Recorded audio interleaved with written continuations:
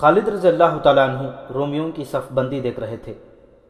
سالار اعلیٰ ابو عبیدہ رضی اللہ تعالیٰ عنہ تھے۔ ان میں ایک قابل سالار کی ساری خصوصیات موجود تھیں، لیکن میدان جنگ میں بڑی احتیاط سے قدم اٹھاتے تھے اور خطرہ مول لینے سے کچھ گریز کرتے تھے۔ جنگ یرموک میں انہوں نے سپہ سالاری کے فرائض خالد رضی اللہ تعالیٰ عنہ کے حوالے کر دیے تھے۔ یہ جنگ ایسی تھی جس میں خطرے مول لینے ہی تھے۔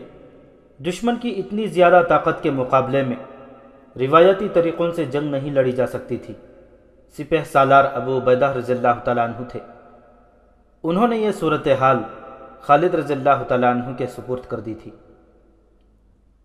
خالد نے ابو عبیدہ رضی اللہ تعالیٰ عنہ سے کہا کہ وہ تمام سالاروں اور کمانڈروں کو اکٹھا کریں۔ خالد رضی اللہ تعالیٰ عنہ انہیں صف آرائی اور جنگ کے متعلق کچھ بتانا چاہتے تھے۔ چونکہ وہ سپہ سالار نہیں تھے، اس لیے سالاروں پر ان کا حکم نہیں چل سکتا تھا۔ ابو عبیدہ رضی اللہ تعالیٰ عنہ نے سب کو بلایا۔ خالد رضی اللہ تعالیٰ عنہ نے انہیں بتایا کہ دشمن کی تعداد کو وہ دیکھ رہے ہیں اور اپنی تعداد بھی ان کے سامنے ہے۔ اس لیے یہ زندگی اور موت کی جنگ ہوگی۔ اس کے بعد خالد رضی اللہ تعالیٰ عنہ نے مجاہدین کو اس طرح تقسیم کیا۔ چالیس ہزار تعداد میں کل دس ہزار گھوڑ سوار تھے۔ تیس ہزار پیادوں کو چھتیس حصوں میں تقسیم کیا۔ ہر حصے میں آٹھ سو سے نو سو پیادے آئے۔ گھوڑ سواروں کو انہوں نے دو دو سو کے تین حصوں میں تقسیم کیا۔ ایک کی کمان قیس بن حبیرہ کو دی، دوسرے کی مسرح بن مسروق کو، اور تیسرے کی کمان عامر بن طفیل کو دی۔ مسلمانوں کے محاذ کی لمبائی گیارہ میل تھی یعنی دشمن سے ایک میل کم۔ ظاہر ہے کہ مسلمانوں کی صف آرائی کی گہرائی تھی ہی نہیں۔ ایک پہلو پر یزید بن ابو سفیان رضی اللہ تعالیٰ عنہ کے اور دوسرے پہلو پر امر بن عاص رضی اللہ تعالیٰ عنہ کے دستے تھے۔ انہیں دو دو سو کا ایک ایک سوار دستہ بھی دیا گیا تھا۔ انہوں نے سالار شرجل بن حسنہ رضی اللہ تعالیٰ عنہ کے دستوں کو اپنے ساتھ دائیں طرف رکھا۔ ان کے ساتھ سالار اکرمہ بن ابو جہل اور عبد الرحمن بن خالد بھی تھے۔ چار ہزار گھوڑ سواروں کو خالد رضی اللہ تعالیٰ عنہ نے اپنی کمان میں اگلی صفوں میں پیچھے رکھا۔ انہیں ہر اس جگہ پہنچنا تھا جہاں دشمن کا دباؤ زیادہ ہونا تھا اور ان سواروں نے گھوم پھر کر لڑنا تھا۔ اگلی صف کے پیادوں کو لمبی برچیاں دی گئیں جو نیزے کہلاتی تھیں۔ ان کی انیاں تین دھاری اور چار دھاری تھیں اور بہت تیز۔ ان پیادوں میں تیر انداز خاص طور پر رکھے گئے تھے۔ رومیوں کے حملے کو نیزوں اور تیروں کی بوچھاڑوں سے روکنا تھا۔ اس کے بعد تیغزانوں نے اپنے جوہر دکھانے تھے۔ اس دور کے رواج کے مطابق بہت سے مجاہدین کے بیوی بچے اور بعض کی بہنیں ان کے ساتھ تھیں۔ ان عورتوں اور بچوں کو فوج کے پیچھے رکھا گیا۔ ابو عبیدہ رضی اللہ تعالیٰ عنہ وہاں گئے۔ قوم کی بیٹیوں، ابو عبیدہ رضی اللہ تعالیٰ عنہ نے عورتوں سے کہا، ہم تمہاری حفاظت کریں گے، لیکن تمہیں ایک کام کرنا ہے۔ اپنے پاس پتھر جمع کر لو اور خیموں کے ڈنڈے اپنے ہاتھوں میں رکھو۔ اگر کوئی مسلمان بھاگ کر پیچھے آئے تو اسے پتھر مارو، ڈنڈے اس کے منہ پر مارو۔ بھاگنے والوں کی بیویاں اور بچوں کو ان کے سامنے کھڑا کر دو۔ عورتوں نے اسی وقت خیموں سے ڈنڈے نکال لیے اور پتھر اکٹھے کرنے لگے۔ صف بندی ہو چکی تو ابو عبیدہ، خالد اور دوسرے سالار ایک سرے سے دوسرے سرے تک گئے۔ وہ مجاہدین کا حوصلہ بڑھا رہے تھے۔ وہ ہنستے اور مسکراتے تھے اور کہیں رک جاتے۔ تو خالد رضی اللہ تعالیٰ عنہ چند الفاظ کہہ کر ان کے جذبوں کو سہارا دیتے تھے۔ ان کے الفاظ کچھ اس قسم کے تھے کہ اللہ کی طرف سے بڑے سخت امتحان کا وقت آ گیا ہے۔ اللہ کی مدد اسی کو حاصل ہوتی ہے جو اس کی راہ پر ثابت قدم رہتا ہے۔ دنیا میں اور آخرت میں عزت اور تقریم انہیں ملتی ہے۔ جن کے دلوں میں ایمان کی شمع روشن ہوتی ہے، اور وہ کفر کی تیز دھار تلوار کا مقابلہ بے خوف ہو کر کرتے ہیں۔ مورخ تبرے نے لکھا ہے کہ یہ سالار ایک دستے کے سامنے سے گزرے۔ تو ایک مجاہد نے کہا، رومی کتنے زیادہ اور ہم کتنے تھوڑے ہیں۔ خالد رضی اللہ تعالیٰ عنہ نے گھوڑا روک لیا۔ میرے رفیق خالد رضی اللہ تعالیٰ عنہ نے بڑی بلند آواز میں کہا کہو رومی کتنے تھوڑے اور ہم کتنے زیادہ ہیں۔ طاقت تعداد کی نہیں ہوتی، طاقت اللہ کی مدد سے بنتی ہے۔ تعداد رومیوں کے پاس ہے، اللہ ہمارے ساتھ ہے۔ اللہ جس کا ساتھ چھوڑ دے، وہ کمزور ہو جاتا ہے۔ زیادہ تر مورخوں نے لکھا ہے کہ سالار اور کمانڈر جب اپنی فوج میں گھوم پھر رہے تھے، تو یہ آیت با آواز بلند پڑتے جاتے تھے۔ کتنی ہی بار چھوٹی چھوٹی جماعتیں اللہ کے چاہنے سے بڑی بڑی جماعتوں پر غالب آئی ہیں۔ اللہ صبر و استقامت والوں کا ساتھ دیتا ہے۔ وہ اگست چھ سو چھتیس عیسوی کے تیسرے، رجب پندرہ ہجری کے دوسرے ہفتے کی ایک رات تھی۔ مجاہدین تمام رات عبادت الہی اور تلاوت قرآن میں مصروف رہے۔ اللہ کے سوا کون تھا جو ان کی مدد کو پہنچتا؟ اکثر مجاہدین سورہ انفال کی تلاوت کرتے رہے۔ رومی محاذ بھی شبر بیدار رہا۔ وہاں پادریوں نے سپاہیوں کو عبادت اور دعا میں مصروف رکھا۔ دونوں طرف مشلیں بھی جلتی رہیں۔ اور جگہ جگہ لکڑیوں کے ڈھیر جلتے رہے۔ تاکہ رات کو دشمن حملہ کرنے آئے تو آتا نظر آ جائے۔ دونوں فوجوں پر حیجان اور کھچاؤ کی کیفیت تاری تھی۔ مسلمانوں کی محاذ سے صبح کی اذان کی آواز اٹھی۔ مجاہدین نے وضو اور زیادہ تر نے تیمم کر کے باجماعت نماز پڑھی اور اپنی جگہوں پر چلے گئے۔ جنگ شروع ہونے والی تھی، جس کا شمار تاریخ کی بہت بڑی جنگوں میں ہوتا ہے۔ سورج افق سے اٹھا تو اس نے زمین پر بڑا ہی حیبت ناک منظر دیکھا۔ چالیس ہزار کی فوج، ڈیڑھ لاکھ نفری کی فوج کے مقابلے میں کھڑی تھی۔ شان تو ہرقل کے لشکر کی تھی۔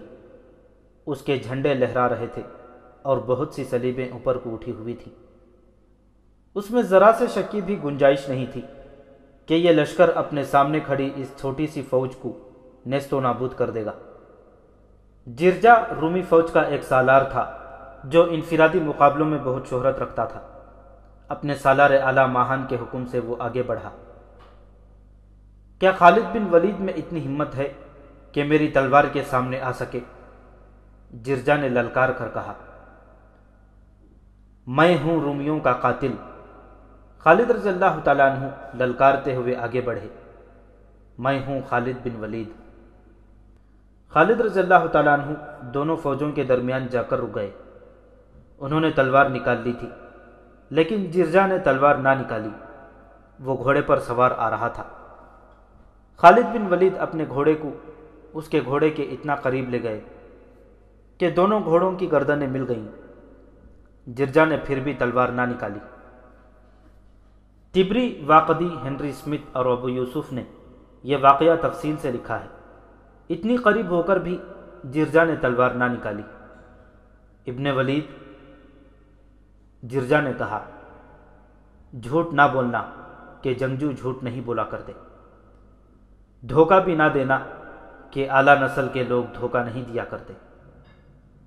پوچھ، اے دشمن اسلام، خالد رضی اللہ تعالیٰ عنہ نے کہا، جنگجو جھوٹ نہیں بولے گا، دھوکہ نہیں دے گا۔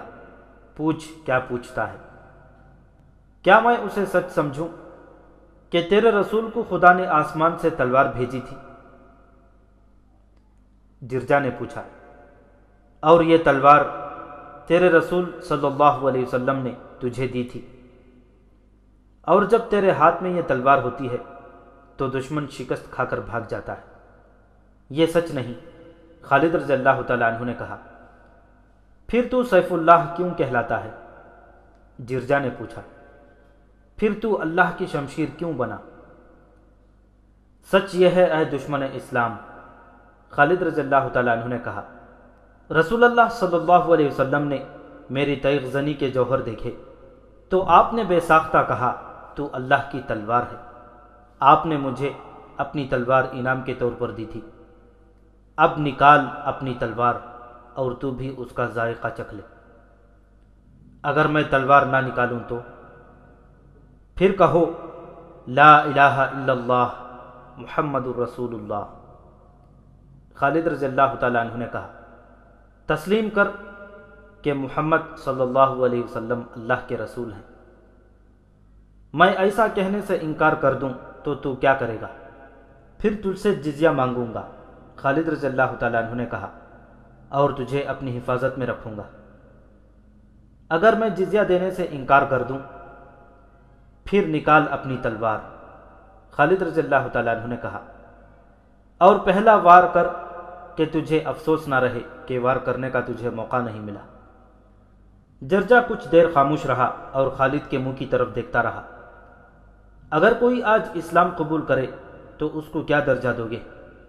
جرجا نے پوچھا، وہی درجہ جو ہر مسلمان کا ہے۔ خالد رضی اللہ تعالیٰ عنہ نے کہا، اسلام میں کوئی بڑا اور کوئی چھوٹا نہیں۔ میں تیرے مذہب میں آنا چاہتا ہوں۔ جرجا نے کہا، میں اسلام قبول کرتا ہوں۔ خالد رضی اللہ تعالیٰ عنہ کے چہرے پر حیرت کا بڑا گہرا تاثر آ گیا۔ کیا تو اپنے ہوش و حواس میں ہے اے رومی سالار خالد رضی اللہ تعالیٰ عنہ نے پوچھا ہاں ابن ولید جرجا نے جواب دیا، مجھے اپنے ساتھ لے چل۔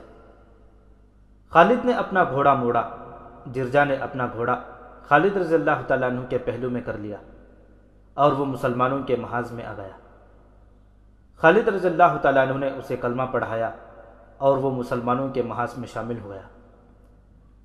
مسلمانوں نے تکبیر کے نعرے بلند کیے اور رومی لشکر نے بڑے بلند آواز سے جرجا پر لان تان کی، لیکن جرجا پر کچھ اثر نہ ہوا۔ بڑی ہی خونریز جنگ شروع ہونے والی تھی اور جرجا اپنے ہی لشکر کے خلاف لڑنے کے لیے تیار ہو گیا تھا۔ اگست چھ سو چھتیس عیسوی مسلمانوں کے بڑے ہی سخت امتحان کا مہینہ تھا۔ رومیوں کا ایک سالار اسلام قبول کر کے مسلمانوں کے پاس آ گیا تھا۔ مسلمانوں نے خوشی کے نعرے تو بہت لگائے تھے۔ لیکن انہیں احساس تھا کہ دشمن کے ایک سالار کے ادھر آ جانے سے رومیوں کے اتنے بڑے لشکر میں ذرا سی بھی کمزوری پیدا نہیں ہوگی اور دشمن کے لڑنے کے جذبے میں بھی کوئی فرق نہیں آئے گا۔ مسلمانوں کو اتنے بڑے اور ایسے منظم لشکر کا سامنا پہلی بار ہوا تھا۔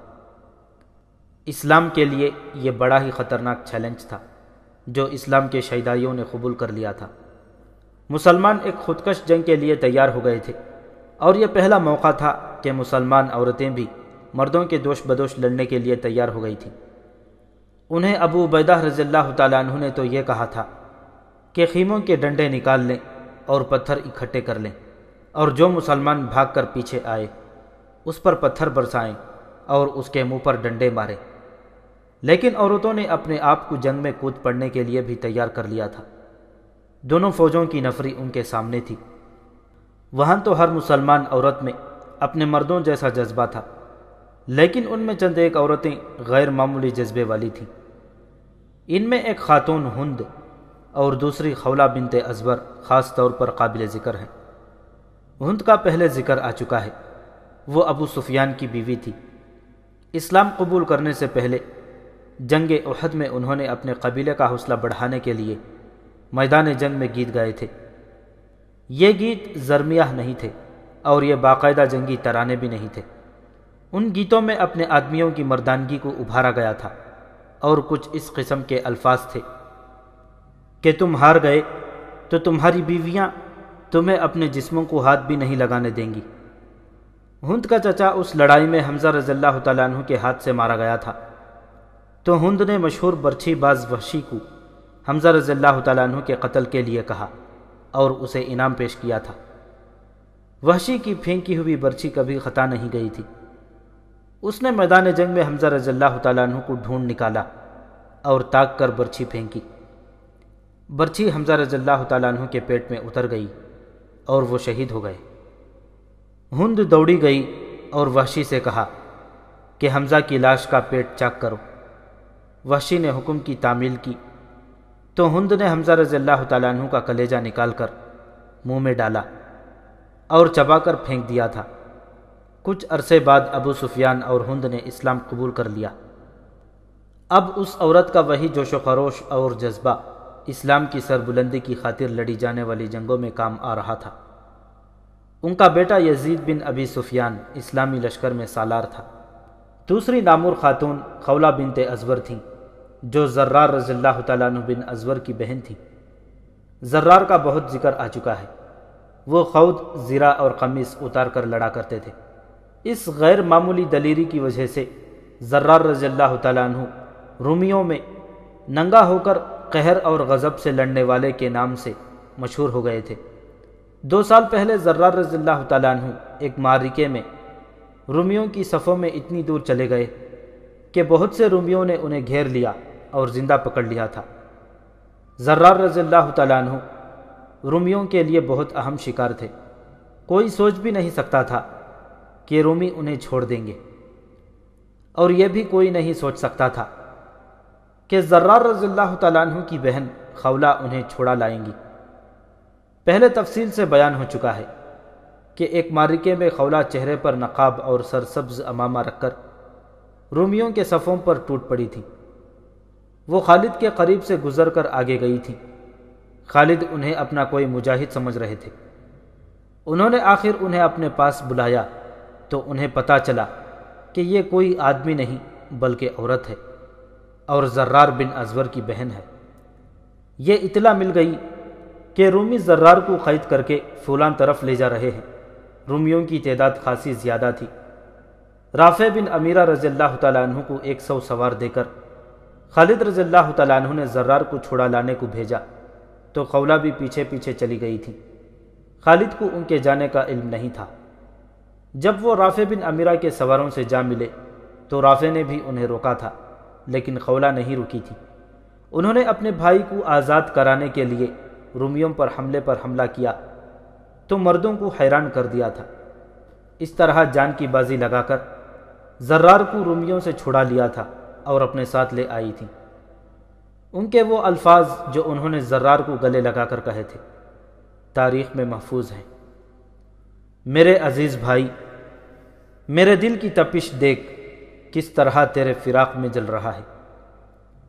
اب جبکہ رومی بلند و بالا پہاڑ کی مانند سامنے کھڑے تھے، تو ہند اور خولہ اور دوسری تمام مسلمان عورتیں صرف بیویوں اور بہنوں کی حیثیت سے بیٹھی نہیں رہ سکتی تھیں۔ نہ وہ اپنے فرض کو دعاؤں تک محدود رکھ سکتی تھیں ہند اور خولہ عورتوں کے کیمپ میں مردانہ چال چلتی گھوم پھر رہی تھی۔ وہ عورتوں کو لڑائی کے لیے تیار کر رہی تھی۔ انہوں نے یہاں تک فیصلہ کر لیا تھا کہ بچوں والی عورتیں بچوں کو پیچھے پھینک کر آگے چلی جائیں گی۔ رومی سالار جرجا نے خالد رضی اللہ تعالیٰ عنہ کے ہاتھ پر اسلام قبول کیا اور اس کے ساتھ ہی انفرادی مقابلے پھر شروع ہو گئے۔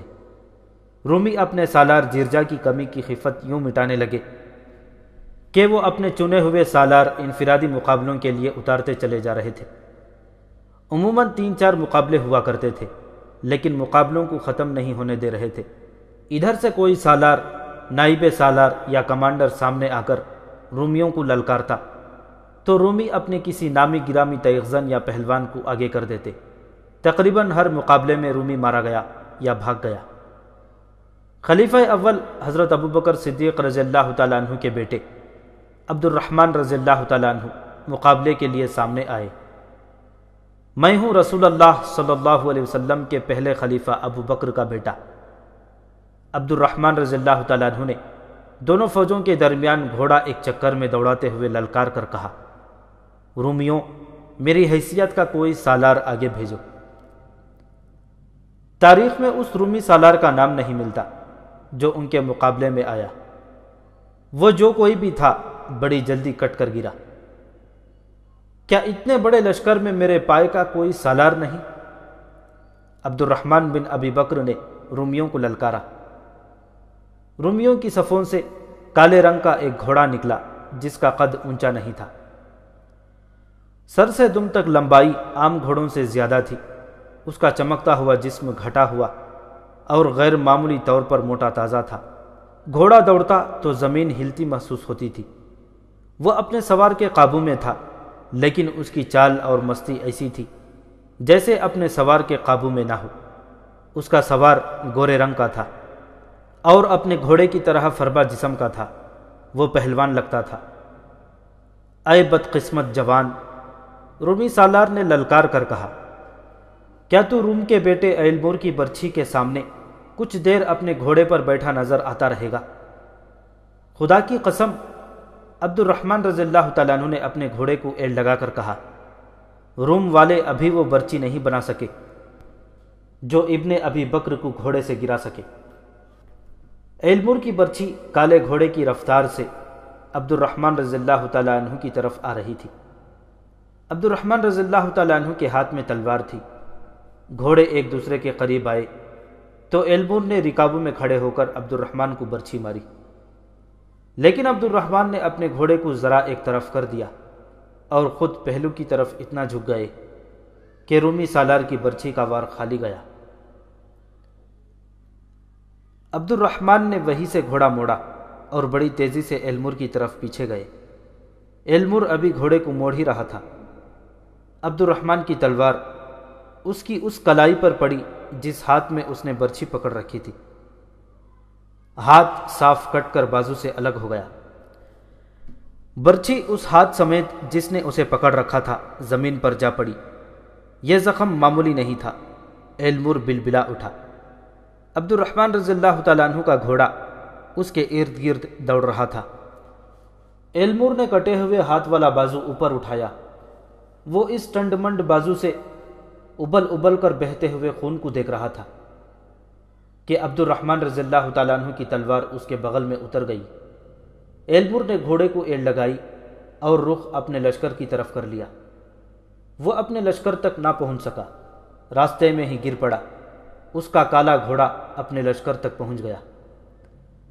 عبد الرحمن رضی اللہ تعالیٰ عنہ نے ایک بار پھر رومیوں کو للکارا، لیکن خالد رضی اللہ تعالیٰ عنہ نے انہیں پیچھے بلا لیا۔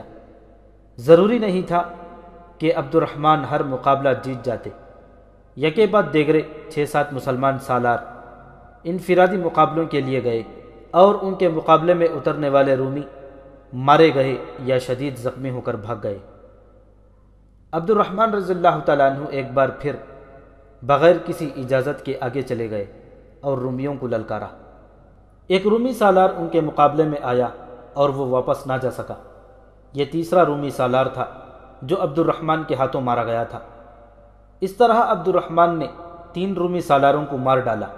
خالد رضی اللہ تعالیٰ عنہ نے انہیں سختی سے کہا کہ اب وہ آگے نہ جائیں۔ اب کوئی آگے نہیں جائے گا۔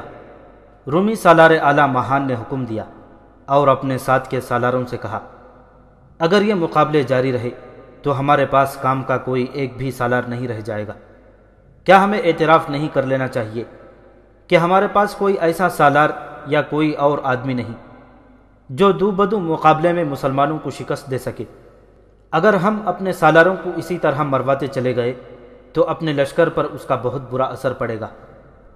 بہت برا اثر پڑ رہا ہے، ایک تجربے کار سالار نے کہا۔ میدان میں دیکھیں، صرف ہمارے سالاروں اور کمانڈروں کی لاشیں پڑی ہیں اور مسلمان ہمیں تانے دے رہے ہیں۔ ہم اتنا لشکر کیوں لائے ہیں؟ ان چند ہزار مسلمانوں کو ہم اپنے گھوڑوں کے قدموں تلے کچل دیں گے۔ ان کی لاشیں پہچانی نہیں جائیں گی۔ ہمیں پورے لشکر سے ایک ہی بار حملہ کر دینا چاہیے، قلب کے ایک سالار نے کہا۔ نہیں، مہان نے کہا۔ مسلمانوں سے اتنی بار شکست کھا کر بھی تم مسلمانوں کو نہیں سمجھے۔ مسلمانوں کی نفری جتنی کم ہوتی ہے، یہ اتنے زیادہ خطرناک ہوتے ہیں۔ میں پہلا حملہ ذرا کم نفری سے کروں گا۔ اور دیکھوں گا کہ یہ اپنے آپ کو بچانے کے لیے کیا طریقہ اختیار کرتے ہیں۔ آدھا دن گزر گیا تھا۔ سورج سر پر آ گیا تھا۔ اگست کی گرمی اور جس کا عروج شروع ہو چکا تھا۔ مہان نے اتنی ہی نفری حملے کے لیے آگے بڑھائی جتنی مسلمانوں کی تھی۔ یہ اس کے اپنے لشکر کی نفری کا چوتھا حصہ تھا یعنی تقریباً چالیس ہزار۔ یہ تمام نفری پیادوں کی تھی۔ جب یہ نفری رومیوں کی دفوں کی تال پر آگے بڑھی تو لگتا تھا جیسے طوفانی سمندر کی موجیں۔ پہلو با پہلو بفری ہوئی، غراتی ہوئی۔ اپنے ساتھ ہی سب کچھ بہا لے جانے کو آ رہی ہوں۔ اسلام کے پاس بانو، کسی مجاہد کی گرجدار للکار بلند ہوئی۔ آج کا دن تمہارے امتحان کا دن ہے۔ اللہ تمہیں دیکھ رہا ہے۔ اللہ ہمارے ساتھ ہے۔ مسلمانوں کی صفوں سے تکبیر کے نعرے گرجے۔ اگلی صفوں میں جو لمبی برچھیوں والے تھے اور جو تیر انداز تھے وہ تیار ہو گئے۔ ایک ایک تیر کمانوں میں چلایا گیا۔ برچھیاں تن گئیں۔ ہر مجاہد کی زبان پر اللہ کا نام تھا۔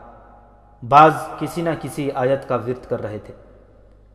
رومی پیادوں کا سیلاب قریب آیا تو اسلام کے نیزہ بازوں نے بڑھ بڑھ کر برچھیوں کے وار شروع کر دیے۔ آگے والے رومی گرتے تھے تو پیچھے والے انہیں رونتے ہوئے آگے بڑھتے۔ نیزہ بازوں کا کام کچھ تو تیر اندازوں نے آسان کر دیا تھا۔ رومی ابھی برچیوں کی ضد سے دور ہی تھے کہ ان پر تیر اندازوں نے تیروں کا مہ برسا دیا تھا۔ رومیوں نے تیروں کو ڈھالوں پر لینے کی کوشش کی تھی۔ پھر بھی کئی رومی تیروں کا شکار ہو گئے۔ اس سے رومیوں کی پیش قدمی کی رفتار سست ہو گئی۔ آگے آئے تو مسلمانوں کی برچیوں نے انہیں چھلنی کرنا شروع کر دیا۔ لیکن ان رومیوں کا حملہ مسلمانوں کے سارے محاذ پر نہیں۔ بلکہ گیارہ میل لمبے محاذ کے تھوڑے سے حصے پر تھا۔ اتنے تھوڑے حصے پر اتنی زیادہ نفری کا حملہ روکنا آسان نہیں تھا۔ رومی پیادے بڑے آ رہے تھے۔ حالانکہ ان کا نقصان خاصا زیادہ ہو رہا تھا۔ مسلمان تیر اندازوں اور نیزہ بازوں نے جب دیکھا کہ رومی سر پر آ گئے ہیں، تو انہوں نے تلواریں نکال لیں اور ماریکے کی خون ریزی میں اضافہ ہو گیا۔ ابو عبیدہ رضی اللہ تعالیٰ عنہ اور خالد رضی اللہ تعالیٰ عنہ نے اپنے دماغ حاضر اور حوصلے قائم رکھے۔ صورتحال ایسی ہو گئی تھی کہ محاذ کے جس حصے پر اتنا زوردار حملہ ہوا تھا، اسے کمک سے مزید مضبوط کیا جاتا۔ لیکن خالد رضی اللہ تعالیٰ عنہ اس سے بھی زیادہ خطرے مول لینے والے سالار تھے۔ انہوں نے محاذ کے کسی اور حصے کو کمزور کرنا مناسب نہ سمجھا۔ مجاہدین کو معلوم تھا کہ وہ کتنے کچھ ہیں اور ان کے پاس کیا ہے۔ انہی حالات میں لڑنا تھا۔ وہ دیکھ رہے تھے کہ جنگ فیصلہ کن ہوگی۔ چنانچہ انہوں نے کمک اور مدد کی امید دل سے نکال پھینکی تھی۔ مدد کے لیے وہ صرف اللہ کو پکارتے تھے۔ صاف نظر آ رہا تھا کہ رومی سالار احتیاط سے کام لے رہے ہیں۔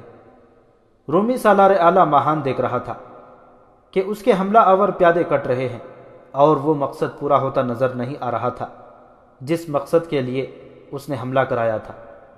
پھر بھی اس نے اپنے حملہ آور پیادوں کو پیادہ یا سوار دستی کی کمک نہ دی۔ مورخ لکھتے ہیں کہ ماہان کو یہ توقع تھی کہ مسلمان اس حملے کا مقابلہ کرنے کے لیے اپنے پورے محاذ کو درہم برہم کر دیں گے، لیکن اس کی یہ توقع پوری نہیں ہو رہی تھی۔ کمک نہ ملنے کا اور اپنے اتنے زیادہ نقصان کا اثر رومی حملہ آور پیادوں پر بہت برا ہوا۔ قریب تھا کہ وہ خود ہی پیچھے ہٹ جاتے۔ کہ ان کے سالار نے انہیں پیچھے ہٹا لیا۔ اس کی ایک وجہ یہ بھی تھی کہ سورج غروب ہو رہا تھا۔